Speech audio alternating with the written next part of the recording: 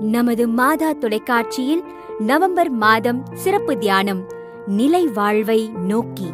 நடைபெறும் நாட்கள் நவம்பர் பதினேழு முதல் நவம்பர் பத்தொன்பது முடிய. கருத்து விவிலிய பார்வையில் இறப்பை நோக்கி உளவியல் பார்வையில் இறப்பை நோக்கி மீட்பு பணி பார்வையில் இறப்பை நோக்கி. நேரம் மாலை ஆறு மணி முதல் இரவு எட்டு மணி வரை.